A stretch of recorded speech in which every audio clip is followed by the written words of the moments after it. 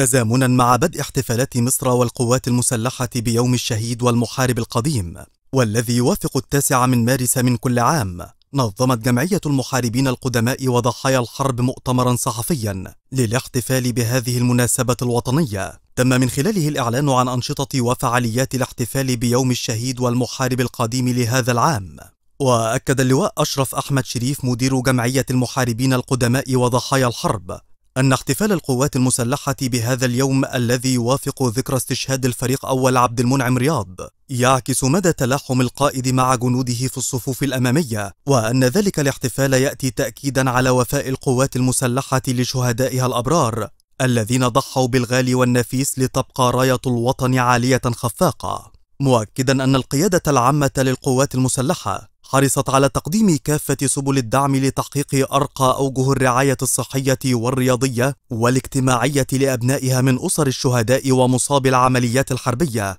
تقديرا لما قدموه من تضحيات سطروا بها أسماءهم بأحرف من نور في سجلات حب الوطن.